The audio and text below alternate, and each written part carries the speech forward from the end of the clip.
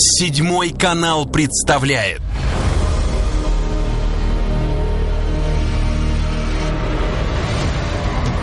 Ночное кладбище у каждого третьего жителя планеты вызывает неописуемый ужас. спецпроект Николая Нилани. Человек должен чего-то бояться. Сейчас такие времена. Лечь и не проснуться.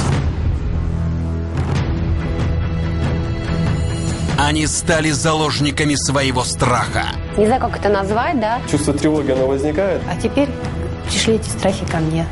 Я знаю, что я могу просто выключиться. А, Ну, это, наверное, заболевание будущего. Вы можете помешать кошмарам стать явью, ведь бояться не страшно.